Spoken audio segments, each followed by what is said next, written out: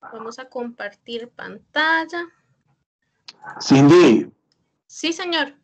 A, la hermana Ruth que lea el Eclesiástico capítulo 2. Eclesiástico capítulo 2. Sí. Muchas gracias. Bueno. Bueno, vamos a ver. Ahí pueden ver mi pantalla. Sí, correcto. Perfecto. Entonces, bueno, vamos a empezar. Y vamos a empezar con la primera oración. Entonces, aprovechando que volvió la hermana Saskia, le quería pedir si nos regalaba la primera oración, ¿verdad? Como pidió la hermana Ruth, pedir por los, los catequistas y también por el hermano Irwin, que, que está ahorita participando en un ascenso para, para el trabajo y, y por todas las personas, ¿verdad? Como siempre. Entonces, no sé, hermana Saskia, si nos puede ayudar con la primera oración. Claro, con mucho gusto. Gracias. En nombre del Padre, del Hijo y del Espíritu Santo. Amén. Ponemos en tus manos, Santísima Trinidad, todas las peticiones y necesidades de todos los hermanos presentes y ausentes en esta reunión por todas sus necesidades e intenciones. Y le rezamos a San Francisco de Sales, glorioso San Francisco de Sales, vuestro nombre porta la dulzura del corazón, más afligido, vuestras obras destilan la selecta miel de la piedad.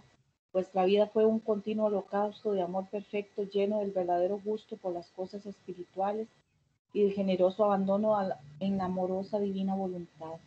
Enséñame la humildad interior, la dulzura de nuestro exterior y la imitación de todas las virtudes que has sabido copiar de los corazones de Jesús y de María. Amén. Amén.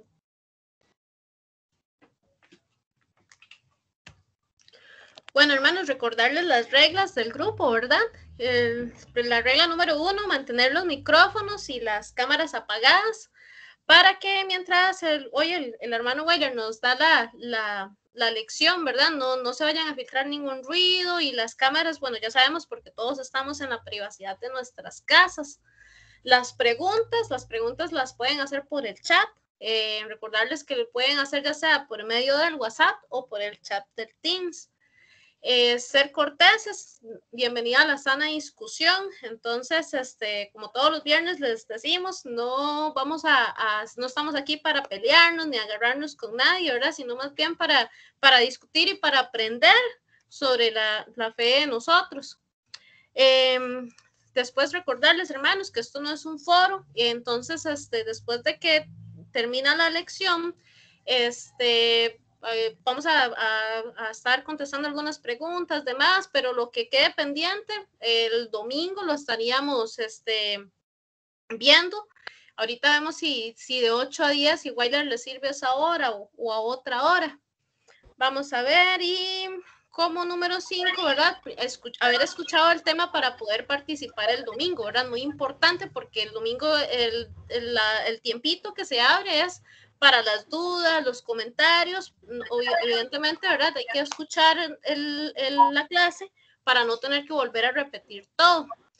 Notas importantes, este, el término de Jehová muchas veces se, se, va a utilizar porque así está en la mayoría de las Biblias de, de, de los hermanos protestantes, pero recordar que el término correcto es Yahvé.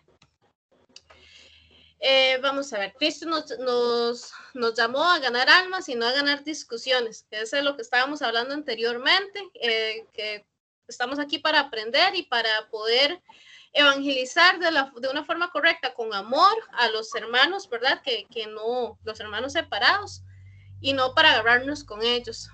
Después, vamos a ver, recordarles lo de las donaciones que están en la, eh, lo pueden encontrar en la página del ministerio, que es www.defensacatólica.com slash donaciones.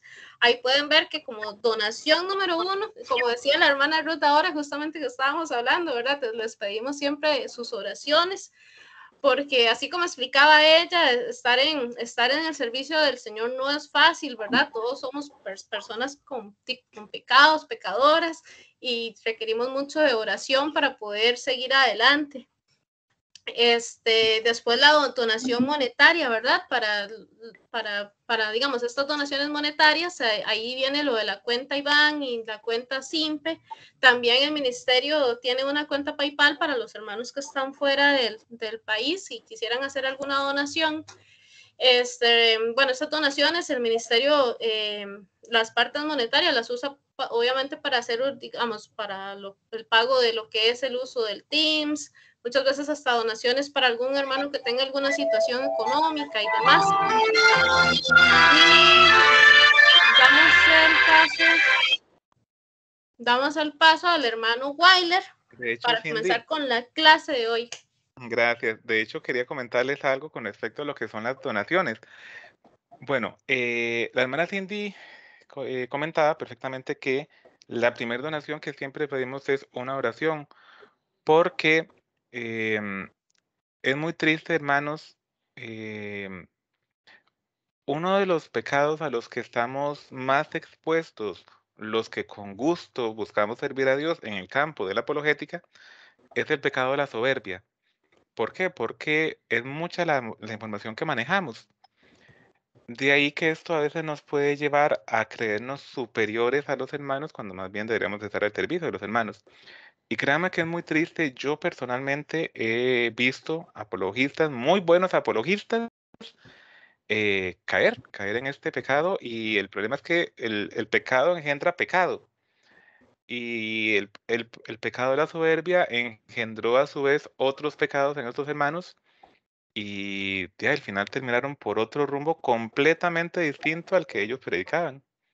Al punto de que uno de estos hermanos, como decimos, eh, en, en, parte en chota, pero en parte tristemente en serio, en el ministerio, es que uno de estos conocidos ahorita está eh, en un retiro espiritual de 37 años en la Reforma para que vean qué serio es el asunto, porque les comentaba, el pecado engendra pecado.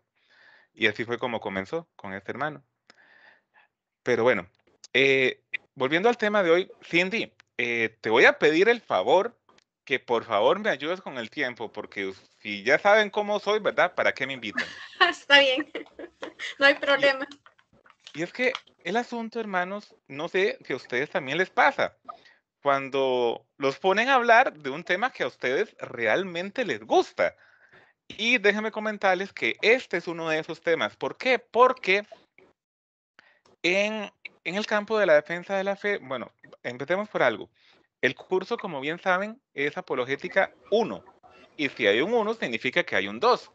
¿En qué se diferencian estos dos? Bueno, en que en apologética 1 vemos principalmente la defensa de la fe cuando hablamos con otras denominaciones que también son cristianas.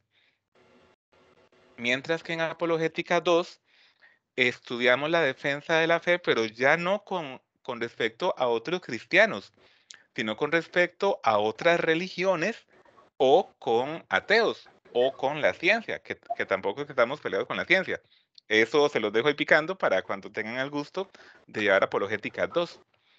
Pero en el caso de apologética 1, que es la defensa de la fe con respecto a otras denominaciones cristianas, hay temas que son, candentes. y tal vez los han oído mencionar bastante ahí en la calle. Eh, por ejemplo, el tema de las imágenes de los católicos, el tema de eh, que yo no me voy a confesar con un, sacerdote que es eh, igual o más pecador que yo. El tema del Santo Rosario, el tema de la Eucaristía, que si es real o simbólica. ¿Los han escuchado estos temas? ¿Alguien que me cuente? Sí. ¿Sí? Ok. Demasiado. y por eso es que estamos aquí. Pero nuevamente, como decía Cindy, el Señor nos ha llamado a ganar almas, no a ganar discusiones. Pero eso tampoco significa que nos tenemos que quedar callados porque eh, la hermana Cindy se lo pasó en la, en la presentación, pero ahí yo les ponía una que, eh, y lo dice la escritura, ¿verdad? si estos callan, gritarán las piedras. Y yo no sé ustedes, pero cuando yo, ah, veo una noticia de que al, alguna imagen religiosa, que vean qué curioso, solo las imágenes religiosas les pasan estas cosas. Cuando alguna imagen religiosa empieza como a sudar gotas de sangre, algunas gotas de aceite, hermanito, no sé, pero para mí eso es una llamada de atención. Sí, es muy lindo el, lo que está pasando, muy lindo, claro que sí, eso no lo vamos a negar. Pero cuidadito y no es una llamada de atención. Bueno, el tema que nos convoca esta noche es precisamente uno de esos temas que le llamamos como candentes en el curso. Es el tema de la sola escritura. ¿Y qué viene a decir el tema de la sola escritura? Bueno, básicamente se, define en este, en este postulado. Recuerden, por favor, tener los micrófonos apagados. Cindy, tal vez me ayudas por ahí. Perfecto. Ok, eh, el tema de la sola escritura básicamente dice así. La Biblia y solo la Biblia. Y si está en la Biblia, lo creo. Y si no está en la Biblia, no lo creo. De hecho, en este asunto de la defensa de la fe, muchas veces se nos pregunta, ¿y dónde está eso en la Biblia? ¿Les ha pasado, hermanos? ¿Alguien que me cuente? ¿Qué les dicen? Pero es que ¿dónde Muchísimas veces. Eh, y nos atacan, pero fervientemente. Bueno. Con el tema de María, perdón, a María es la que más nos señalan con dónde está eso de María en la Biblia. Ah, sí, pero también con los otros temas candentes, eso es buenísimo. Ay, yo, yo con una de mis mejores amigas que tengo la, siempre la, la discusión del el tema del sábado o el domingo, que ese es otro de los temas candentes. Pero bueno. Mi hermanito baile. Ajá a mí me han atacado mucho. Yo que soy Mariana, yo, yo de verdad, yo soy Mariana, pero así, como eh, expongámoslo así, como esos fanáticos de fútbol, yo soy una fanática de María. Y a mí me atacan mucho. Tengo familia eh, evangélica y a mí me dicen, pero es que esa mujer, así, a mí me sulfura, esa mujer tuvo más hijos y yo, ay, Santísima Trinidad, ¿cómo hago yo para defenderte, Madre Santísima? Ah, pero desgraciadamente no ha tenido eh, la palabra idónea para decirles y refutarles todo lo que ellos tienen. Y yo, yo lo que he hecho es guardar silencio. Y un día les dije, díganme una cosa, si yo les ofendo a su mamá, ustedes se quedan tranquilos. Y me dijeron, no, lo mismo siente Cristo cuando ustedes hablan de su madre. Entonces, de, esa manera, los he dejado callados. Bueno, si usted gusta precisamente con respecto al tema de la sola escritura, yo traía un pasaje preparado que se refiere a María. Entonces, eh, voy a pedirle, hermana, que al final de la clase me diga si le sirve el pasaje que le traigo preparado. ¿Ok? Está bien, está bien, hermanito. Perfecto. bien, entonces para continuar, porque son 40 diapositivas y me quedan como, no sé, aquí no estoy viendo el reloj, son las 7 y, y 26, me quedan 3 horas apenas. Solo la Biblia. Básicamente entonces, eh, lo que nos dicen por allá afuera es que la Biblia es la única norma de fe, doctrina y conducta. Les comentaba que este enunciado se basa en la Biblia y solo la Biblia, y si está en la Biblia lo creo, y si no está en la Biblia, entonces no lo creo. Por cierto, si alguno tiene su Biblia a mano, eh, téngala por ahí a mano, porque puede ser que encuentre alguna que otra cosita interesante por ahí que ahora le voy a mostrar y que usted mismo lo va a encontrar en su Biblia y va a decir, ay caramba, es cierto esto. Bueno, lo que nos dicen también por ahí afuera es que todo lo que un cristiano debe saber está contenido únicamente en la Biblia. Y el tercer punto es que la iglesia debe ser bíblica. De ahí que entonces, en algunas veces, y esto es algo que a mí siempre me llama la atención, eh, si notamos, si observamos, eh, la iglesia católica en los lugares en los que está, no lleva nombres, nada más es la iglesia católica de y el nombre del lugar. Por ejemplo, la mía es la iglesia católica de Concepción de Tres Ríos, o bueno, Concepción de la Unión propiamente. Eh, ahora, a veces ya como entre católicos, porque nos gusta a veces chimar de los santos patronos, entonces decimos, ah, no, es que, creo, a ver si me acuerdo, la de Cindy es la parroquia de Santa Bárbara, ¿es? Santa Bárbara, exacto. Santa Bárbara de Pavas. Exacto. Pero eso ya, como, como chimando el, el, el santo patrón. Y por cierto, de eso he escuchado que San Antonio es bastante popular entre las parroquias porque muchas llevan a San Antonio como santo patrono. Pero bueno, más allá del patrono, lo que decimos es la iglesia de Tres Ríos, la iglesia de Curridaba, la iglesia de Pavas. Pero si lo notan, en el caso de nuestros hermanos protestantes, ellos es Iglesia eh, Bíblica Evangélica Oasis de Salvación. Iglesia eh, de Adoración al Espíritu Santo Pare de Sufrir. Antes era muy popular en, el Paseo Colón, un lugar muy popular en Costa Rica, para los hermanos que tal vez nos oyen desde fuera, un lugar muy conocido aquí en el país, el Paseo Colón. Iglesia Pentecostal Brazos de Amor. Y otras más por ahí. Vean qué curioso. Nosotros no, le ponemos nombres porque no ocupamos distinguir. Es la misma iglesia. La, misma iglesia de Pavas, donde está Cindy, es la misma iglesia donde yo estoy en, bueno, mm, eh, normalmente en Concepción de la Unión, de Ríos. Pero ahorita también estoy en la de Naranjo, que estoy visitando a mi mamá. Y es la misma. Y les voy a contar algo también. Eh, yo, soy vecino, compañero. ¿Perdón? Yo soy vecina suya. Ah, sí, cierto, cierto. Eh, ah, bueno, y que les, les iba a comentar, yo he tenido la ocasión de salir del país, he tenido esa oportunidad, y a casi todos los lugares que he ido, porque una vez fui a uno que, que er, era, era, era, no, es la cuna del, del mormonismo, por cierto, fui a, a Utah. Em, y en, en, ese lugar, a como aquí se ve una iglesia católica cada 100 metros, por así decirlo, allá es parecido, pero con un templo mormón. Entonces, ahí, cuando fui a Utah, no pude ir a misa. Pero en otras ocasiones que he estado fuera del país, que he podido ir a, a misa, es la misma misa, en otro idioma tal vez, pero es la misma. Pero bueno, entonces recapitulemos. Hermanos, contrólenme por favor, porque ya les dije, si saben cómo soy, ¿para qué me invitan? Y déjenme decirles otra cosa, lo peor del caso, hermanos, es que ¿saben qué? Que yo les voy a dar el tema la próxima semana también. Entonces, dicen que en guerra avisada no muere soldado. La Biblia es la única norma de fe, doctrina y conducta. Todo lo que un cristiano debe saber está contenido únicamente en la Biblia y la iglesia debe ser bíblica. Quisiera hacer aquí énfasis en dos palabritas, vamos a ver si me sale, porque esto yo se lo he dicho, se lo he visto mucho, ay, yo creo que a mí no. Ándale, ándale, con que quiera. Es que en mis clases de la universidad yo veo que los profesores siempre sacan este puntero rojo. Y yo, ¿cómo es que lo sacan? Nunca he tenido la ocasión de sacarlo hasta ahora. Vamos a hacer énfasis en un par de palabritas. La Biblia es la única y eh, está contenido únicamente en la Biblia. Vean qué curioso, hermanos. El presupuesto protestante es que si está en la Biblia lo creo y si no está en la Biblia entonces no lo creo. Ahora, en el tema de la defensa de la fe, vamos a hacer esta pregunta.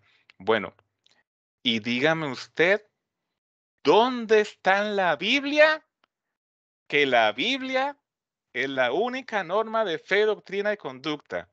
Dígame usted, por favor, ¿dónde está en la Biblia que todo lo que un cristiano debe saber está contenido únicamente en la Biblia? Porque les voy a comentar algo y dice eh, la palabra de Dios, ¿verdad? No tengo la cita ahora porque eso me decía un, un compañero del ministerio, Isaac, eso es un estornudo del Espíritu Santo. Hay de aquel que ose cambiar una letra, un punto, una coma de la palabra de Dios. Pues bueno, déjenme comentarles que en la Sagrada Escritura efectivamente hay un pasaje que habla con respecto, no dice Biblia, porque la palabra Biblia, adivinen qué, no está en la Biblia. Así como la palabra Santísima Trinidad no está en la Biblia. Eso porque a veces también nos preguntan cosas como por ejemplo el purgatorio, que era otro de esos temas candentes a veces. La palabra purgatorio no está en la Biblia, pero la palabra Biblia tampoco está en la Biblia. Y la palabra Trinidad tampoco está en la Biblia.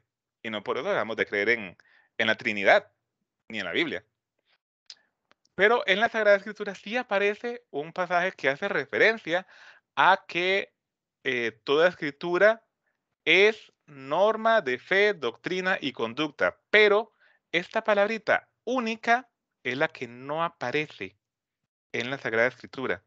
Esta palabrita, la única norma, esto es un añadido que se ha hecho con el tiempo. Obviamente no por nosotros. Esta postura niega la necesidad de la iglesia y la autoridad del magisterio. Nace del mito que las iglesias niegan la lectura de la Biblia por parte de los fieles. Entonces, digamos, ¿es la afirmación esta cierta? Esta que le estaba comentando acá, que la Biblia es la única norma de fe, doctrina y conducta y que todo lo que un cristiano debe saber está contenido únicamente en la Biblia y que la iglesia debe ser bíblica. Bueno, esta sí es cierta. Pero vamos a hablar de, las otras dos. Vamos a verlo entonces desde, desde tres puntos. Desde el punto de vista de la propia Biblia. ¿Qué dice la propia Biblia con respecto a ella? Vamos a verlo desde el punto de vista histórico. Y finalmente vamos a verlo desde el punto de vista lógico.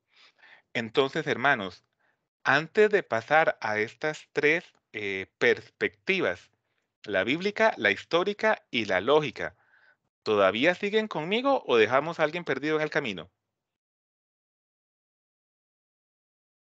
Aquí estamos. Ok. Bueno, seguimos entonces. Igual yo sé que si nadie pregunta nada al final es que todo lo entendieron o no entendieron nada.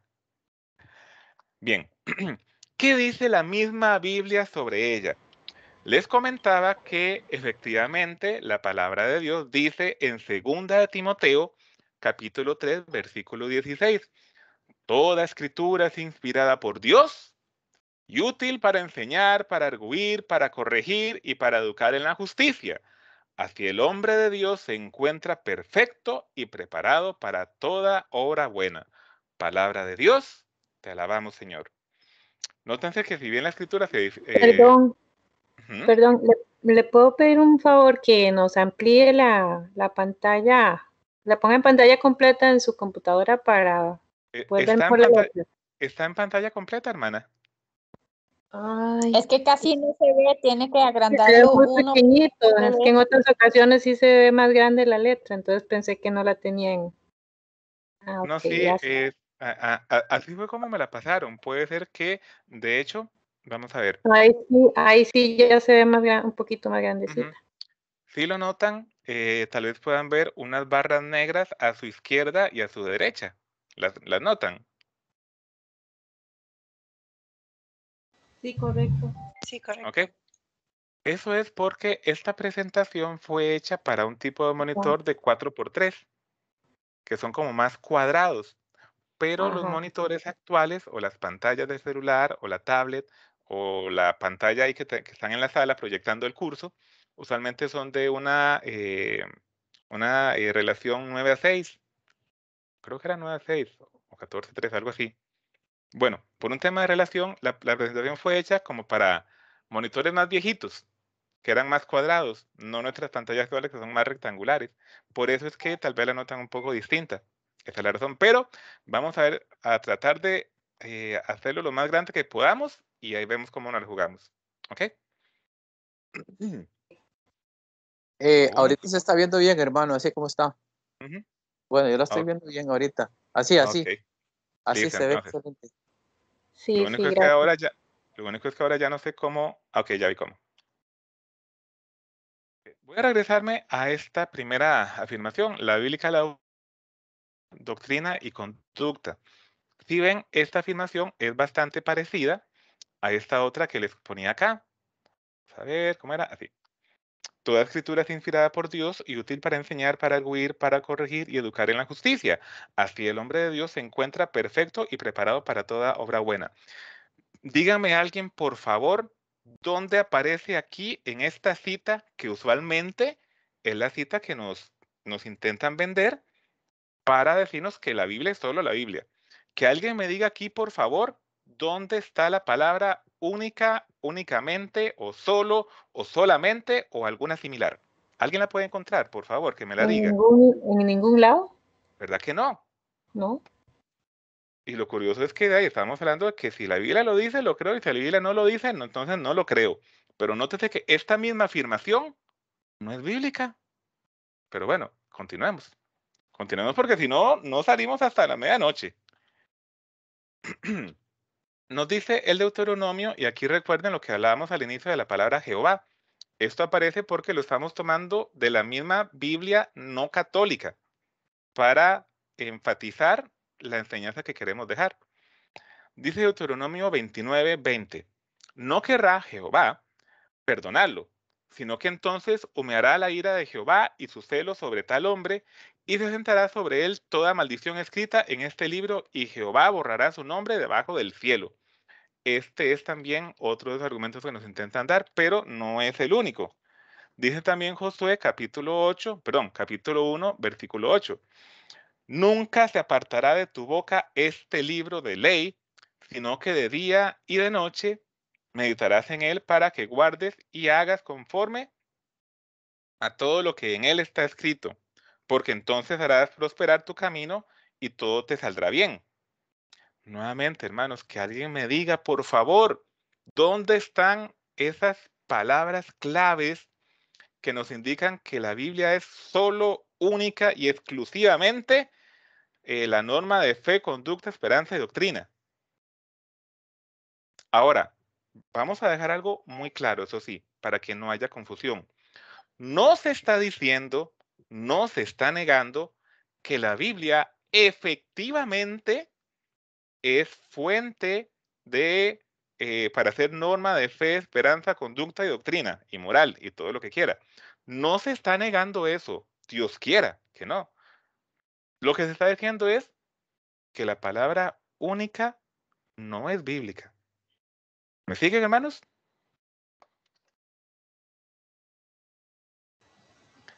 Seguimos. Sí, sí, adelante. En el, eh, aquí, ok, voy.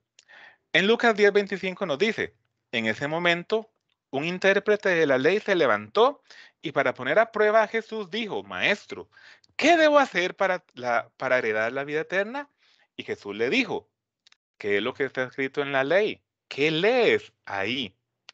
Bien. Este versículo, hermanos, nuevamente es uno de los que usualmente se nos exponen para tratar de eh, vendernos la idea de que la Biblia y solo la Biblia. ¿Por qué? Porque si vemos este contexto, y lo voy a explicar más adelante, creo que lo voy a explicar más adelante, es que a veces uno lleva tantas ideas en la cabeza que a veces empieza a hablar una y se le olvidó de la otra. Pero bueno, si no les comento esta cita más adelante, es que no recuerdo si estaba con una filmina más adelante, pero si no se las explico más adelante, me lo recuerdan, por favor. Alguien que lo note ahí en la parte de preguntas.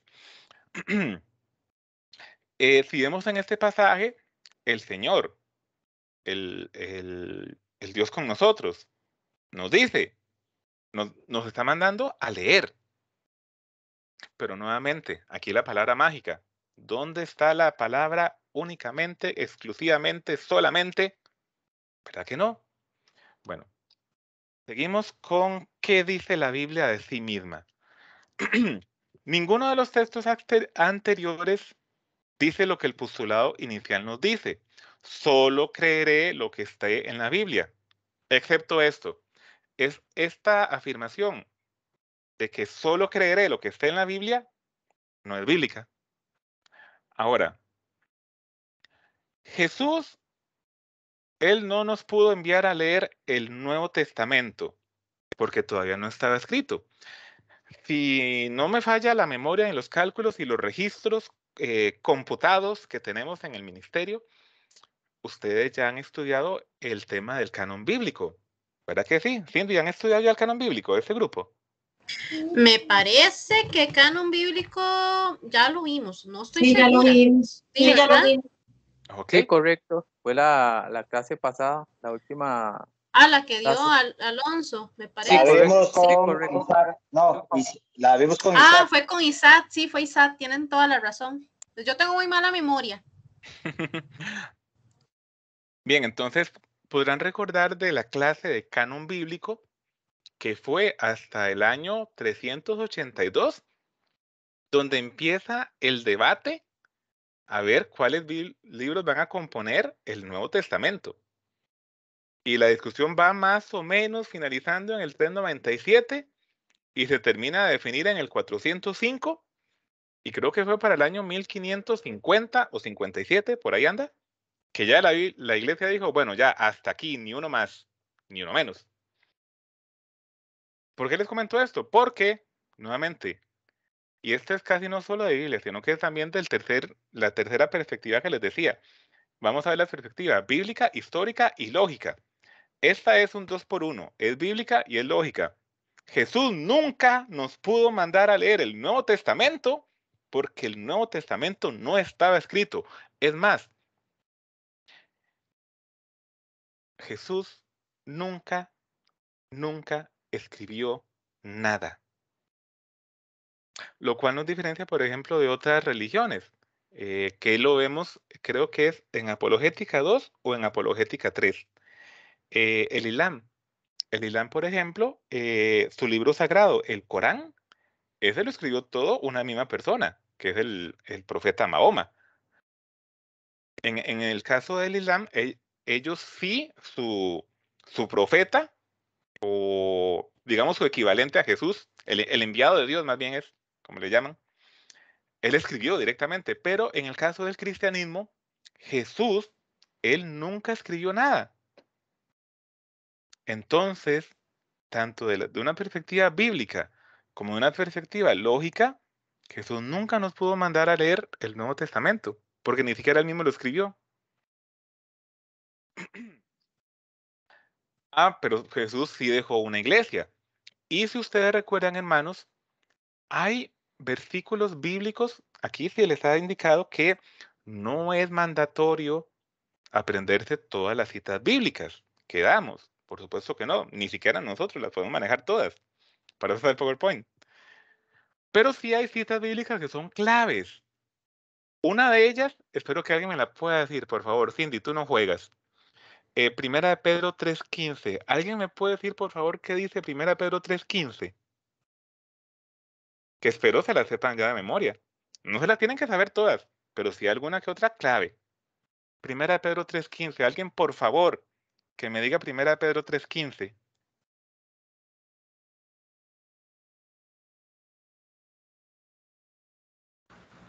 Esa es la que dice que la Biblia no es de interpretación personal. Ah, no. Ah, no.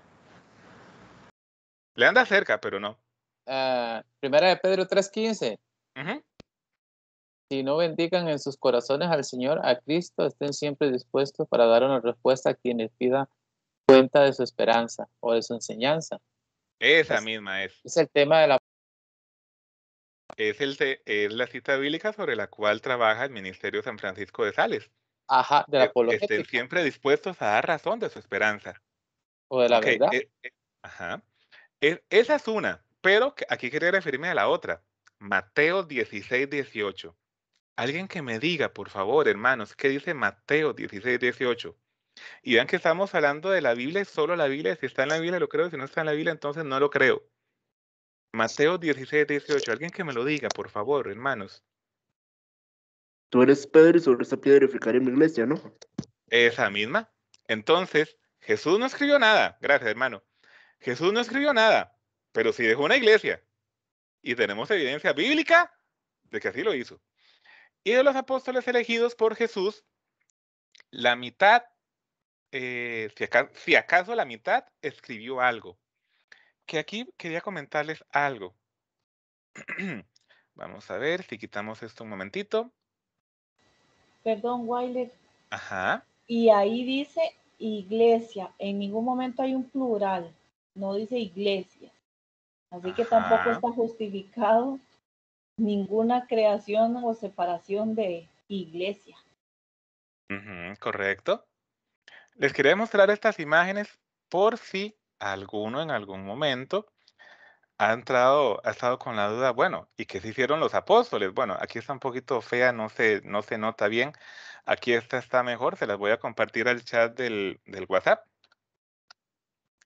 Y también les quiero compartir esta otra, a ver si se abre bonito. No es tanto que les quiera compartir la imagen como tal, pero es para nombrar eh, todos los apóstoles. Ay, solo que están un poco bajas. Déjenme ver si les encuentro una más grande y se las envío. Yo estaba seguro de que sí, que había una más grande. La que envió ahorita se ve excelente en el WhatsApp. Uh, sí, la, la, que, la que envió ahorita sí, pero es que quería una más.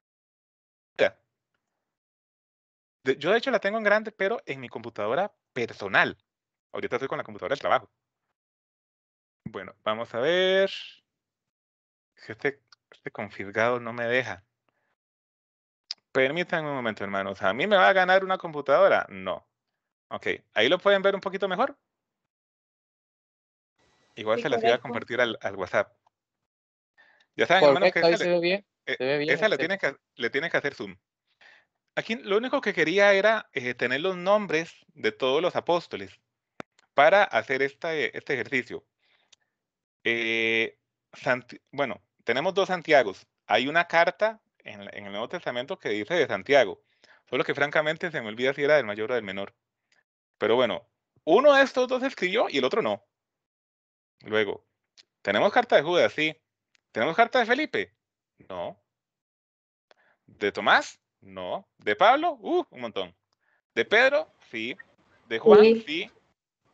Eh, bueno, ah, bueno, sí. ¿De Mateo? Eh, sí. ¿De Iscariote? Definitivamente no. ¿De Simón? No. ¿De Bartolomé? No. ¿De Andrés? No. ¿Y de Matías? No. ¿A qué voy con esto, hermanos? Que, como les comentaba, eh, los apóstoles tampoco fue que escribieron mucho.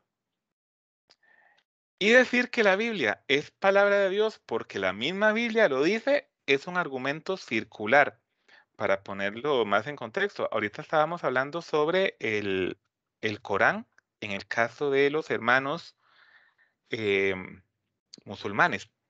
Bien, entonces, porque ellos tienen un libro que el mismo libro dice de sí mismo que es palabra de Dios, deberíamos entonces nosotros creer que ese libro es palabra de Dios.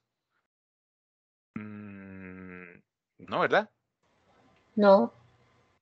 Entonces. Hermano Weiler. Ajá. Eh, tengo una aportación. Eh, le voy a decir una cosa. Los hermanos, los evangelios, eh, los musulmanes. No, no, los musulmanes no, los testigos. No, no, no, los testigos de Jehová. Ajá. Em, en su Biblia completamente eliminan y porque yo lo he visto, porque mi papá hace muchos años había querido estudiar la palabra con ellos y todo eso. Mi papá les compró una Biblia a ellos y ahí claramente se puede ver cómo ellos eliminan partes muy importantes de la, de la Biblia. Entonces uno, uno, uno, se viene a la Biblia de uno, eh, ¿dónde está? ¿Dónde está ese versículo importante? Dice que eh, eh, uno es Jesús es el verbo encarnado. Ellos eliminan a Jesús. Bueno, a Jesús lo tienen como un, como un profeta, no como, no como, como el verdadero Dios que es y Salvador. Eso es importante.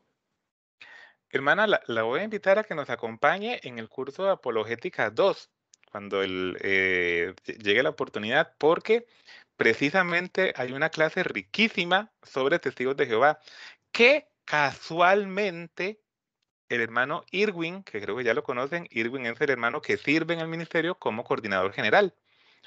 Eh, él va a estar dando mañana esta clase en el curso de Apologética 2, Testigos de Jehová. Nada más es para comentarles, para dejarlos picados y que nos acompañen en Apologética 2. Pero le voy a adelantar algo. Le voy a decir una cosa. Yo de aquí voy hasta que se termine esto, porque estoy es de esas personas que les gusta aprender y como que le decía el padre, un padre amigo mío, que rumea las cosas y entre más la rumea, más le gusta. Eso me está pasando a mí. Ay, hermana, qué, qué problema. Pero qué, qué bonito problema. Eh, pero sí le voy a adelantar algo. Los hermanos testigos de Jehová, ellos no solo quitan, también ponen. Una muy, eh, muy clave que recuerdo ahorita es Juan 1.1. Eh, que bueno, hermanos, no, no me hagan hablar porque si no terminamos a medianoche. Pero bueno, ustedes ya saben cómo soy, entonces ¿para qué me invitan? Juan 1.1 en la Biblia de los Testigos de Jehová más bien, te lo voy a, decir primero lo que dicen las Biblias católicas y hasta las Biblias evangélicas también. Juan 1.1. En el principio era la palabra y la palabra estaba con Dios. Y no te saber si, si, si perciben la diferencia. En el principio era la palabra y la palabra estaba con Dios y la palabra era Dios. Así dicen las Biblias católicas y las Biblias protestantes. ¿Qué dice la Biblia de los testigos de Jehová? Dice así. En el principio era la palabra, y la palabra estaba con Dios, y la palabra era un Dios. No sé si alguien percibió la diferencia. Y si no la percibió, entonces acompáñenos en Apologética 2 en la clase de Testigos de Jehová. Pero hermanos, no me hagan hablar porque si no, no terminamos el tema de hoy que es de sola escritura. Decir que la Biblia es palabra de Dios porque la misma Biblia dice que es palabra de Dios es un argumento circular. Es como que yo saque un libro eh, y que yo diga, este libro que yo estoy sacando es palabra de Dios porque el mismo libro lo dice. ¿Ustedes, hermanos, me lo creerían? Como los mormones. Bueno, de ahí. Ustedes me lo creerían. Entonces, si yo saco un libro, lo publico y digo que es, el libro es palabra de Dios porque el mismo libro dice de sí mismo que es palabra de Dios, ¿ustedes me compran la idea? Yo creo que por falta de conocimiento mucha gente compra la idea. Y dice... Sí, exacto. perdón, digamos, si uno eh, no estudia, digamos, bien lo que está leyendo, de cualquiera puede caer, ¿verdad? Entonces, de cualquiera se va a chulo, como dicen. Entonces, de lo compra y de ahí después este, de, usted empieza a leer y a leer y usted va a decir, no, que hay muchas cosas que nada que ver. Bueno, así es como comienzan muchas sectas, ¿verdad? Pero, eh, como decía Lefran, no porque una mentira se diga un millón de veces deja, eh, se convierte en verdad. O algo así decía la, frase. Tal vez alguno me, pueda corregir, pero como decía el chavo, por ahí va la idea. Entonces, la Biblia no es palabra de Dios porque la misma Biblia lo dice, sino que entonces la Biblia es palabra de Dios porque alguien con la suficiente autoridad, viene y dice, esto es la palabra de Dios. ¿Me siguen, hermanos? ¿Qué? Sí, correcto. Mm. Ah, bueno, y estábamos hablando antes. Ay, ¿qué se me hizo? ¿Recuerdan esa famosa cita de 2 Timoteo 3:16, la que usualmente nos, nos sacan a relucir para decirnos que solo la Biblia? Aunque nuevamente ya estudiamos que la, la palabrita así, sola o únicamente o alguna palabra similar, no aparece aquí en la Biblia. Pero bueno, recuerden muy bien esta cita, 2 Timoteo 3:16. Hablando de postulados, aquí estamos hablando del postulado de la Biblia y solo la Biblia. Bueno, nosotros en el ministerio también tenemos un postulado que más o menos dice así. Y, lo, hicimos con rima, para ver si se lo aprenden. Un texto fuera de contexto lleva un pretexto. Te lo repito por si alguien no se lo aprendió. Un texto fuera de contexto lleva a un pretexto. ¿Y por qué les digo esto? Porque muchas veces, hermanos, es muy importante conocer el contexto en el cual se dicen las cosas. Y en el caso de versículos bíblicos, no se vale, no se vale querer intentar decir algo, una enseñanza o una doctrina, como la de la sola escritura, simplemente por un versículo bíblico.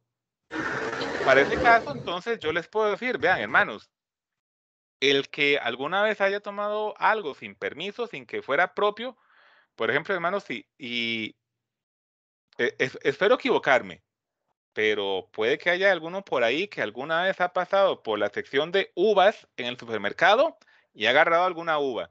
No me tiene que responder, pero piénselo usted si lo ha hecho. O alguna fresa. Las uvas son muy comunes, creo yo, que la gente hace eso.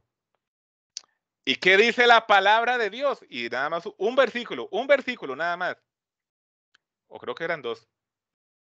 Si tu mano te hace pecar, córtatela. Palabra de Dios, o más o menos así decía, perdón. Perdón, no, no puedo decir palabra de Dios porque no la estoy leyendo exactamente. Me equivoqué, perdón, me equivoqué.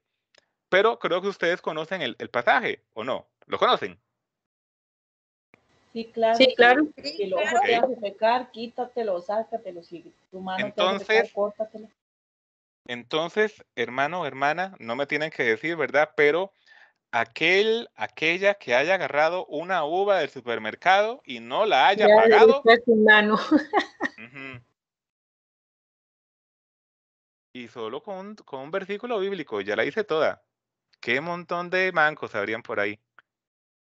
Bueno. Pero volviendo al tema, al tema del contexto. Antes nos decían segunda de Timoteo 3:16.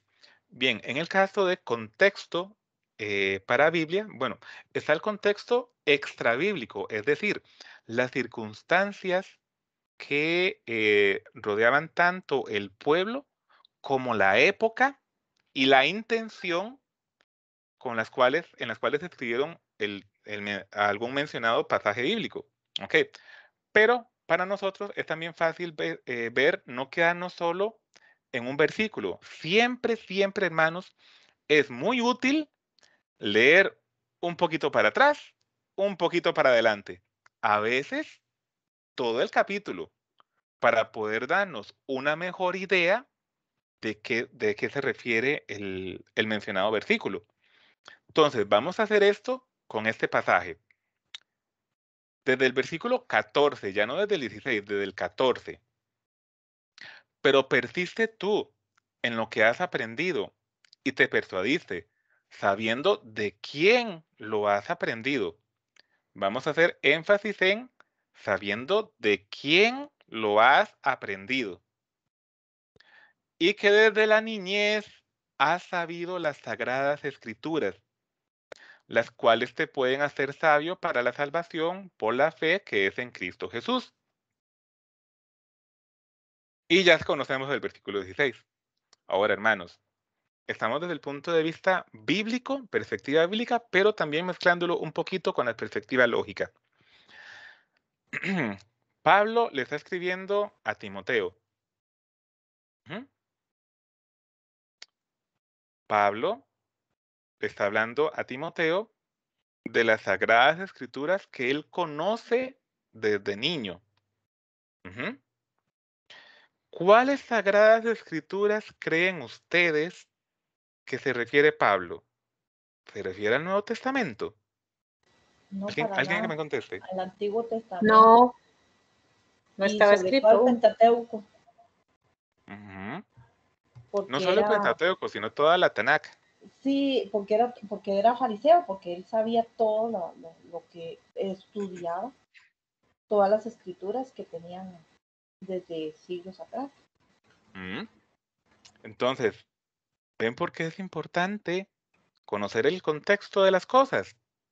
El versículo 16, cuando dice toda escritura, este viene como continuación del versículo 15 de las sagradas escrituras que Timoteo conoce desde niño. Y ya lo sacamos por lógica que no puede ser el Nuevo Testamento. Y entonces, ¿qué hacemos ahora con el Nuevo Testamento? Porque entonces el versículo 6 nos dice que toda escritura es inspirada por Dios, pero en- entonces es solo el Antiguo Testamento. El Nuevo Testamento no es inspirado por Dios. ¿Es que acaso lo tenemos que interpretar así? ¿O no? No. No, Ok. Entonces, ¿de dónde podemos saber nosotros que el Nuevo Testamento es palabra de Dios? Si no sabe la respuesta, hermano, lo invito a ir a defensacatólica.com y buscar la clase de canon bíblico. Es la iglesia, la que veíamos en Mateo 16, 18 y que la hermana muy bien apuntó en singular, la que nos dijo con la autoridad que el Señor le dio, que eso, el Nuevo Testamento, es palabra de Dios, que esta carta que Pablo estaba escribiendo sin que él mismo lo supiera, es palabra de Dios. Mm. Seguimos entonces.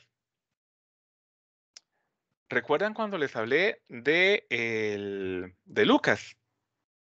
El pasaje de Lucas, creo que era capítulo 10. Yes. Aquí, aquí el hermano se le olvidó poner el, el capítulo, el libro del capítulo. Lucas capítulo 10. En ese momento, un intérprete de la ley se levantó y para poner a prueba a Jesús dijo, Maestro, ¿qué debo hacer para ganar la vida eterna? Jesús le dijo, ¿qué es lo que está escrito en la ley? ¿Qué lees allí? Nuevamente, este es uno de los textos que en algunas ocasiones nos intentan dar para tratar de promocionar o defender el tema de la sola escritura. Eh, pero, nuevamente, damos las cosas en su contexto. Y aquí no va a ser suficiente solo leer, yo les decía, unos versículos antes, unos versículos después, o a veces todo el capítulo. Bueno, en este caso no va a ser suficiente ni unos versículos antes ni unos después, va a ser necesario toda la Biblia, o al menos todos los evangelios.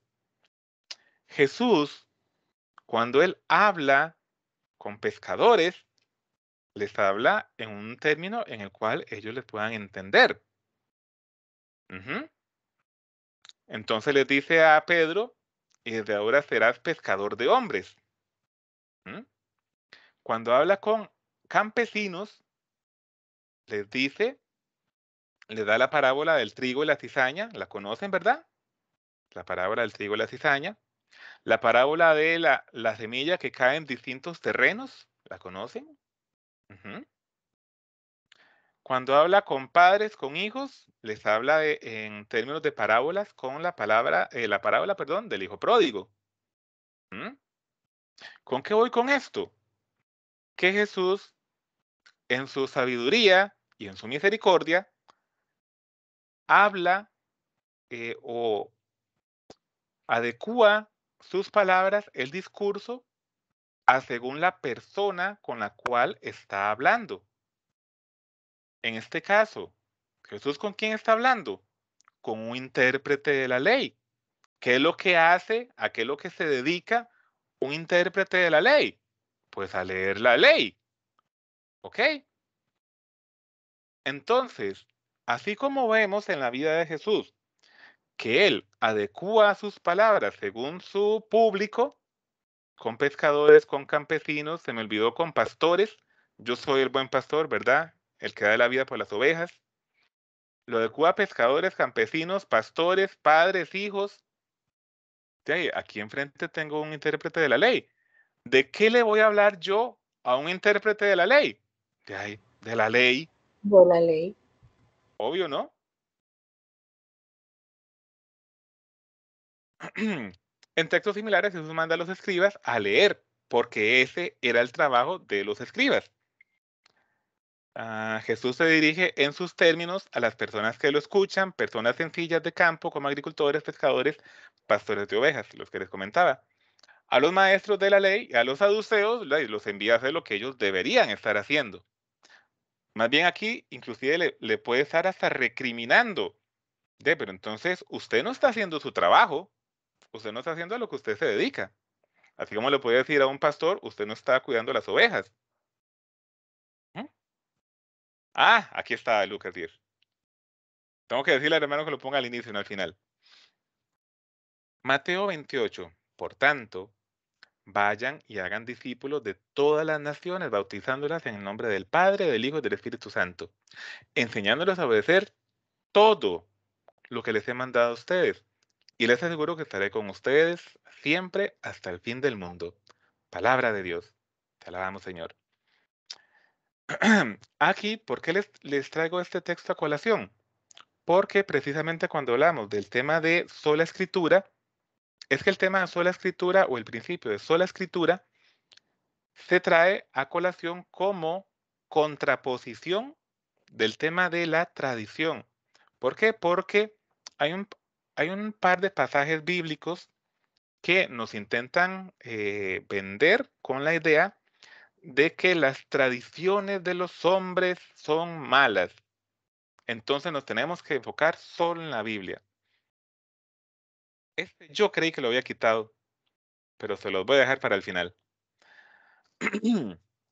Bien, eh, ¿qué es el asunto de todas las, de las tradiciones? Bien, Vamos a ver si lo hacemos un poquito más grande. Por ahí vamos. Hermano, perdón, perdón, con eso que está diciendo este con Mateo 28. Y es que en mi trabajo tengo un, compañero que es evangélico. Y un día estuvimos hablando sobre Padre, Hijo y Espíritu Santo. Y me dice que eso no existe. Que la Biblia dice, bautícelo en el nombre de Jesús. Entonces yo le digo, entonces la Biblia no se contradice, porque eh, yo creo que es San Pablo lo que dice, bauticen en el nombre de Jesús. Y después dice Mateo 28, vayan y bauticen en el nombre del Padre, del Hijo y Espíritu Santo. Entonces estábamos en ese dilema. Y a lo último eh, no me dijo nada, se quedó quedito. Entonces digo, Padre, Hijo y Espíritu Santo son tres en uno, digo yo. Y por eso, como dice usted, hay pasajes bíblicos eh, que dicen una cosa y el otro dice otra cosa, pero van de la mano los, los, dos pasajes. Aquí nuevamente eh, quiero remitirme al postulado del ministerio. Un texto fuera de contexto lleva un pretexto.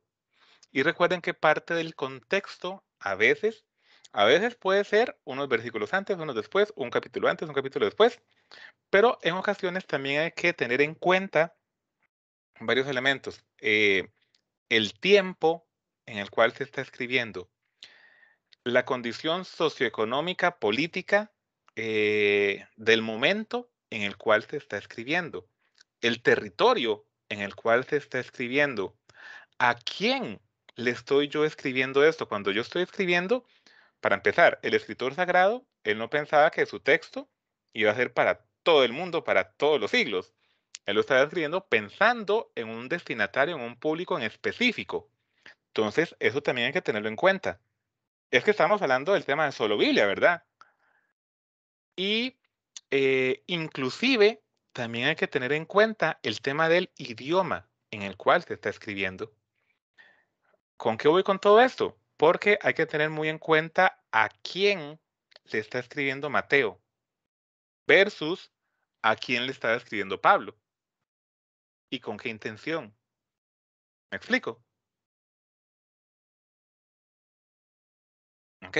Pero bueno, eh, volvemos con el tema de, la, de las tradiciones. Eh, nuevamente vamos a insistir en algo. Jesús mandó a sus apóstoles a escribir.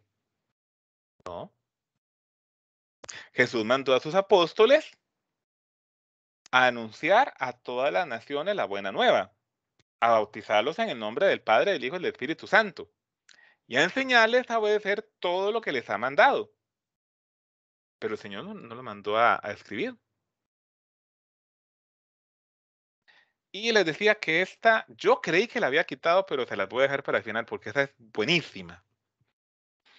Pero digamos con la Biblia, ¿qué dice primera de Timoteo 3, 14? Eh, te escribo, esto te escribo, perdón, esto te escribo, dice Pablo a Timoteo, aunque tengo la esperanza de ir pronto a verte, para que si tardo sepas cómo conducirte en la casa de Dios, que es la iglesia del Dios viviente, columna y baluarte de la verdad.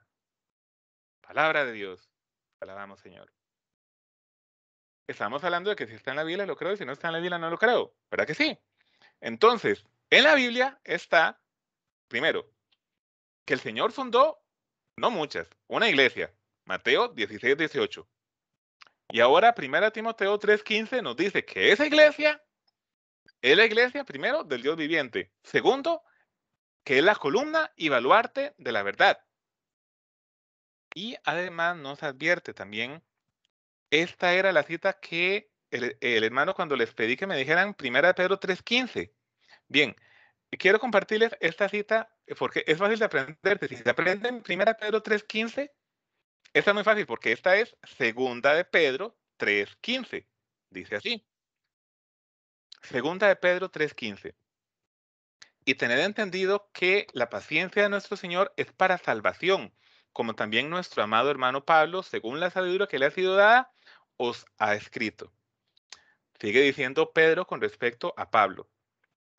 Casi en todas sus epístolas o en sus cartas, por así decirlo, hablando en ellas de estas cosas, entre las cuales hay algunas, aquí le faltó al hermano creo que una palabra, algunas cosas difíciles de entender, Yo les comentaba que hay de aquel que ponga, o, eh, que quite o, agregue palabras a la, a la palabra de Dios. Me parece que aquí al hermano cuando transcribió esta diapositiva le faltó la palabra como algunas cosas, pero el que tenga gusto lo puede buscar en su propia Biblia. Debe ser algo así. Entre las cuales hay algunas cosas difíciles de entender, las cuales los indoctos e inconstantes tuercen, como también las otras escrituras, para su propia perdición. Ahora, eh, cuando una iglesia no católica dice que es bíblica, lo que en realidad quiere decir eh, o hace es que la interpretación de tal o cual pastor o pastora que está dirigiendo esa iglesia es eh, la que define esa, esa iglesia en particular. Porque vamos a, ok, a ver cómo como un momentito las ideas, perdón hermanos, es que a veces son tantas cosas que uno quiere decir que no dice ninguna. No sé si a alguna le pasa o es solo a mí. Hermano, Pero bueno, un momentito para ordenar las ideas. Eh, hermano, ya encontré ahí en la segunda de Pedro, sí, sí le falta la palabra cosas. Sí, yo, yo, me suponía que, que, le faltaba esa palabrita. Voy a decirle al, al, hermano que hizo la presentación, hey hermano, le faltó esa palabra. Eh, gracias, hermana. Eh, vamos a, seguir mezclando un poquito el bíblico con el lógico. Si el presupuesto protestante que la Biblia y solo la Biblia y con solo la iluminación y la unción que yo recibo del Espíritu Santo es suficiente para yo entender la Biblia y si es la misma Biblia para todos y es el mismo Espíritu Santo, entonces ¿por qué hay tantas iglesias? Y dejemos un, momentito de lado la iglesia católica. ¿Por qué hay iglesias pentecostales contra bautistas, contra metodistas, contra evangélicas? Y metamos también a los testigos de, Jehová y los mormones. ¿Por qué hay tantas? Es la misma Biblia. Es el mismo Espíritu Santo. Y no metamos ahorita la, la iglesia católica.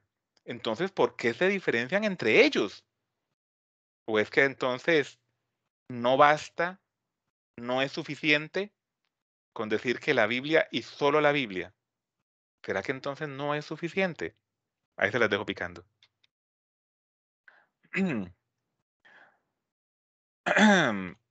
Tal vez voy a empezar a, a correr un poquito. Weiler. Ajá. Es que eh, ya, ya, sí está bien la cita, es que se, ahí dice cosas y se, se refiere a, la, palabra cosas que dice antes. Es que hay algunas, eh, y yo decía, me parece que quiere faltar al, hermano la palabra cosas. Pero no, no, es que dice, hablando en ellas de estas cosas, entre las cuales hay algunas difíciles de entender, ¿ve? Ah. Porque ya dice palabra cosas antes. Ah, ya, ya, ya, ya capté, ya capté. Fue, eh, fue error mío entonces de lectura. Pero si hay otra, eh, otra traducción que tengo aquí, dice, dice cosas más adelante, que tal vez sea la que la hermana vio. Bueno, que me, que me perdone mi profesora de español del colegio que debe estarse revolcando en la tumba. Gracias, hermana. Voy a, a, poner un poquito el acelerador porque me parece que ya se me hizo acabar el tiempo y apenas voy por la diapositiva 14 de 40. No se puede hacer una segunda lección de este tema, es demasiado importante. vamos, a, negociarlo con la Cindy más adelante.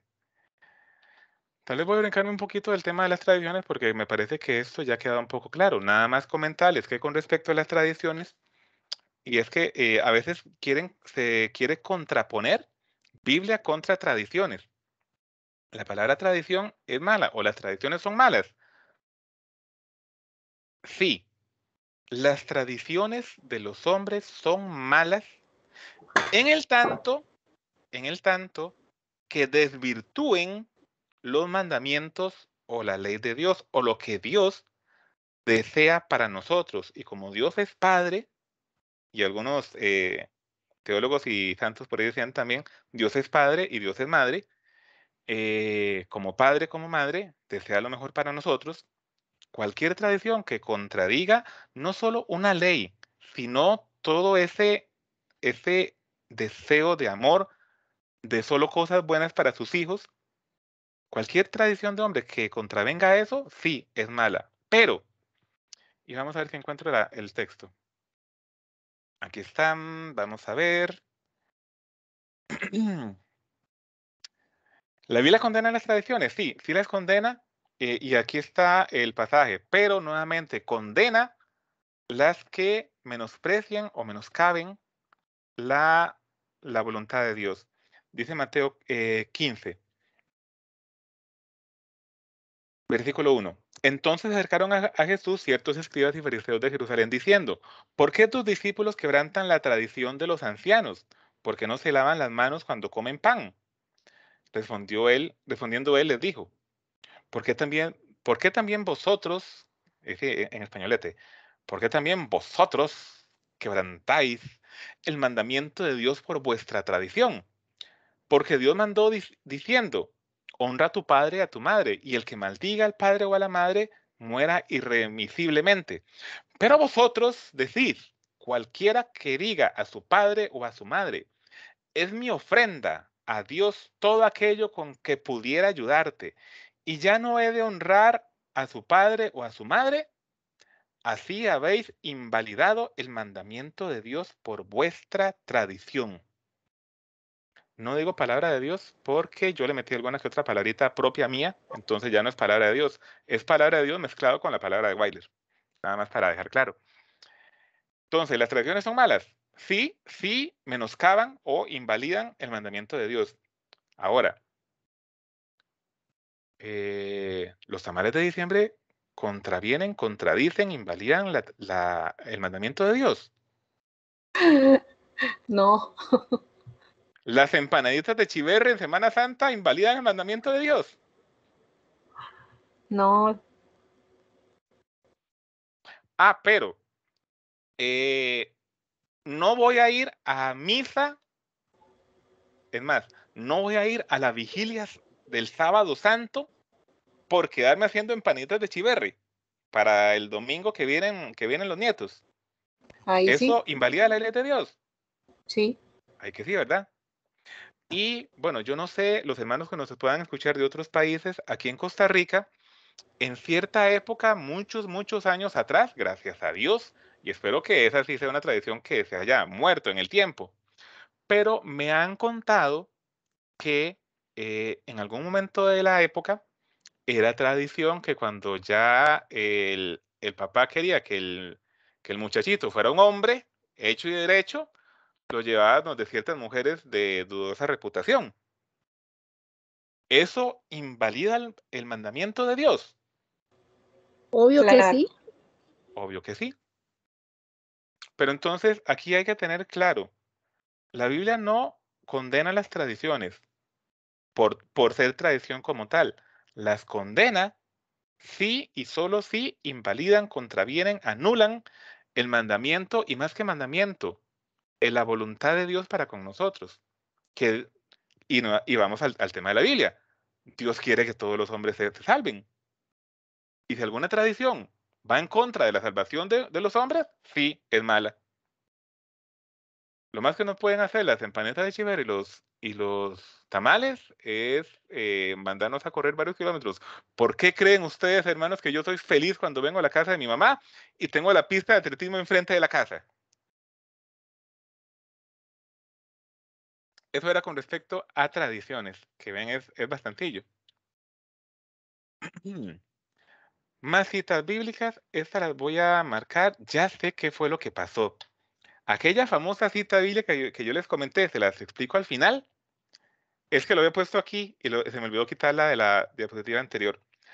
Aquí voy a dejar la presentación un momento para mostrarles un momentito la Biblia que yo utilizo, que no sé si en algún momento les les llegó el chisme, el chisme que dice que, es malo, pero cómo entretiene.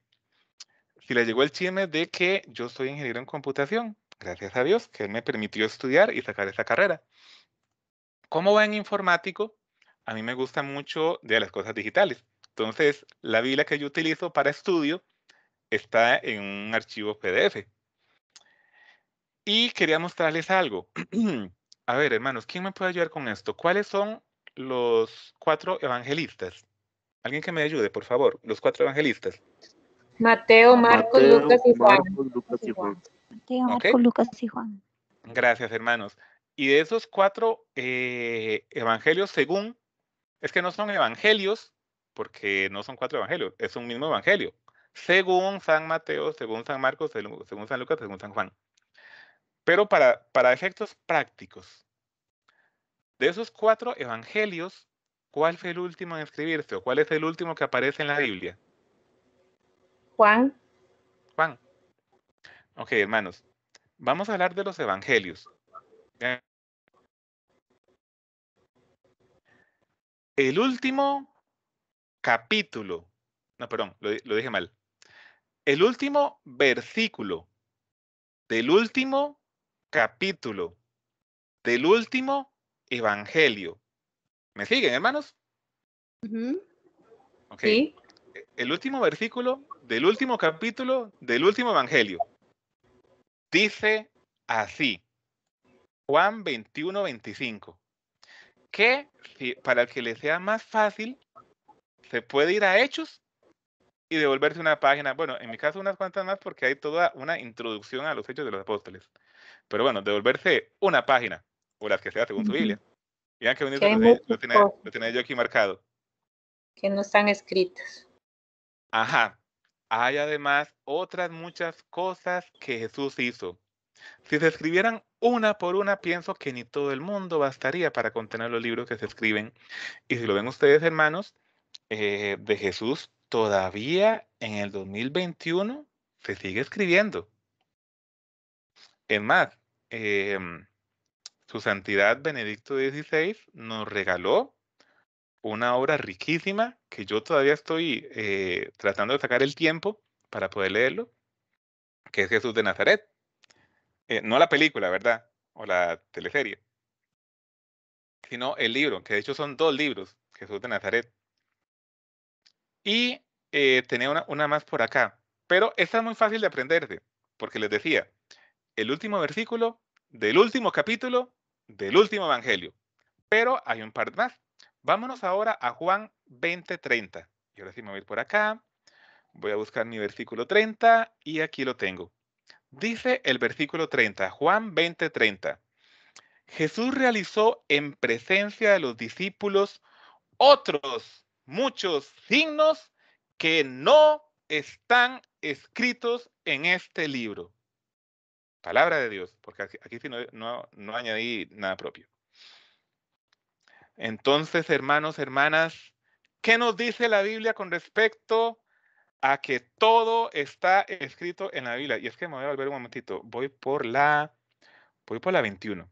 Acuérdenme que voy por la 21. Teníamos eh, dos, dos presupuestos. Uno que creo, bueno, teníamos tres, pero es, en este no hay mucha discusión. Sí hay un poquito, pero no tanta. Teníamos dos, dos presupuestos importantes, que la Biblia es la única norma de fe, doctrina y conducta. Y el otro, que todo lo que un cristiano debe saber, todo está contenido únicamente en la Biblia. Y ya vimos Juan 21, 25, y ahora, estamos viendo Juan, que efectivamente nos dice que no, no todo está escrito. Pero no solo eso, si recuerdan, yo tenía por acá una tercera cita, que esta también es buenísima. A ver si la encuentro.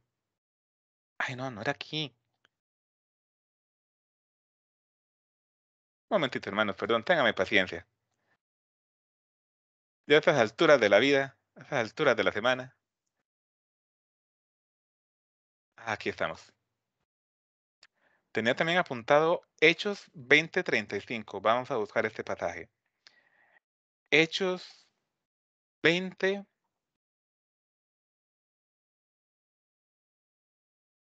Treinta. Aquí lo tengo marcadito. Dice así, Hechos 20, 35. En todo les he enseñado que es así, trabajando como se debe socorrer a los débiles y que hay que tener presente las palabras del Señor Jesús, que dijo, mayor felicidad hay en dar que en recibir. Palabra de Dios, te alabamos, Señor. Esa creo que es muy, muy conocida también, eh, especialmente para épocas navideñas, ¿verdad? Que hay mayor felicidad en dar que en recibir. Bueno, el que escribe es Lucas. Lucas es el autor del Evangelio según San Lucas y del Hechos de los Apóstoles.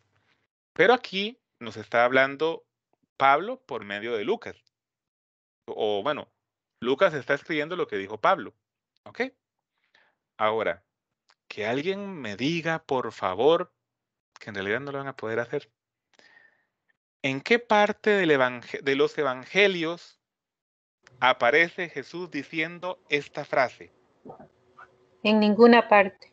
En ninguna parte. Pero Lucas eh, se está refiriendo a esta, que el Señor lo dijo. ¿Con qué voy con esto, hermanos? Nada más es terminar de reforzarles lo que yo les comentaba. No, no todo está en la Biblia. Entonces, este postulado que todo lo que un cristiano debe saber está contenido únicamente en la Biblia. ¿Qué me pueden decir ustedes al respecto de eso, hermanos? ¿Les compramos la idea o no, o no les compramos la idea? Para nada.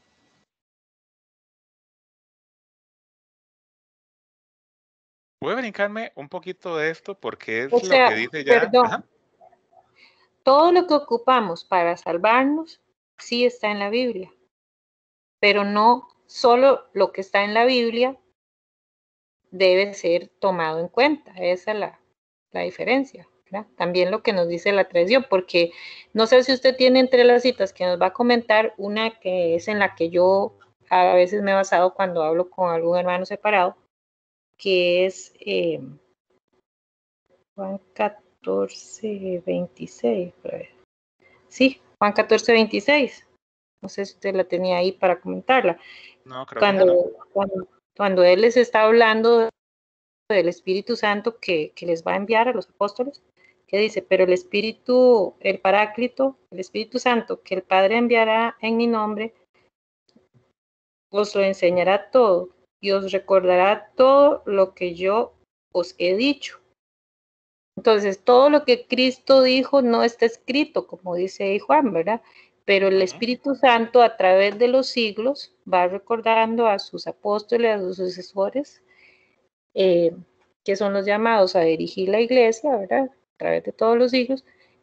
El Espíritu Santo es, eh, es el que va guiando y recordando, inspirando a los, a los obispos, a los papas, todo lo que Jesús dijo y lo que es necesario para, para que la iglesia siga siendo fiel a, a su enseñanza, Ajá. aún la que no está escrita. Eh, eh, bueno, aparte del, del que es malo, pero nos entretiene, de que yo, eh, gracias a Dios, me, permitió estudiar ingeniería en computación. No sé si en algún momento les he comentado que, gracias a Dios, Él me ha permitido ahora también estudiar teología en la Universidad Católica. Ahí en la carrera de teología nos enseñaban que todo ha sido revelado, pero no todo ha sido comprendido. Que esa es también parte del trabajo que hacemos los, bueno, los futuros teólogos, ya yo incluyéndome, y también los apologistas, y los catequistas, y el Papa, y los obispos, y los presbíteros. Todo ha sido revelado, pero no todo ha sido comprendido. Para finalizar o para cerrar esta parte bíblica, y para ir acelerando un poquito el, el acelerador, valga la redundancia, quería compartirles esto. ¿Qué pasa cuando nos enfocamos en solo la Biblia? Yo les iba a compartir este chiste para sacar unas risas un rato porque estamos viernes en la noche y estamos cansados, ¿verdad? De la jornada semanal. Pero me, me parece que él lo cuenta mejor que yo. Pero me parece que tengo que dejar de compartir un momentito para compartirles con audio. Entonces vamos a ver cómo era, cómo era, cómo era. Por aquí lo tengo. Dice include computer sound. ¿Ok? Y me avisan si lo pueden escuchar. por el lado correcto de la cama. ¿Lo escucharon? Sí. Sí, Sí. correcto. Entonces, Ojo, hermanos, ¿qué les puede ocurrir cuando nos quedamos con la Biblia y solo la Biblia? En palabras del doctor Fernando Casanova. Y estoy de buen humor. Así que yo les voy a dar la clave. Porque como ya ellos descartaron a la iglesia, o sea, ya no hay iglesia. Ahora es, mira, directito. Tú sabes. El Evangelio según San Yo. Qué rico, ¿ah? El Evangelio según San Yo.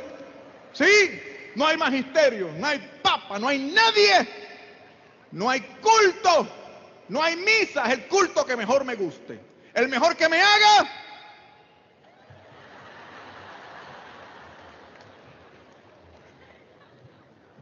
Pues mira, te voy a dar un consejo. Tú te pones a orar. Mira lo que tú tienes que hacer. Mira. Te pones a orar y tú dices, Señor, ayúdame a salir de la iglesia católica, me voy de la iglesia católica, ya no soporto a la iglesia católica, porque la iglesia católica y ya no soporto esto más porque yo predico mejor que el cura, yo tengo la verdad agarrada por el rabo, yo soy un general de cuatro estrellas, yo soy la última gota de agua en el desierto y a mí el Señor me habla porque yo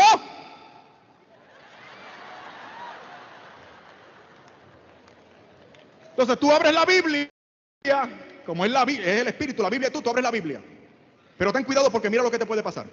Tú comienzas, Señor, voy a hacer lo que me diga tu palabra, porque ya no hay iglesia, ahora es la Biblia y yo lo que yo encuentre en tu palabra. Lo que tú me digas en tu palabra, eso voy a hacer. Porque yo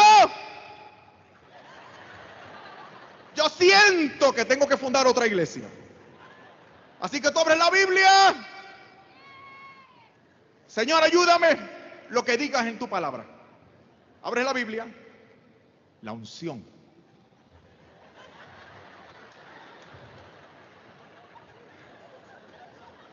Dice, y Judas se ahorcó.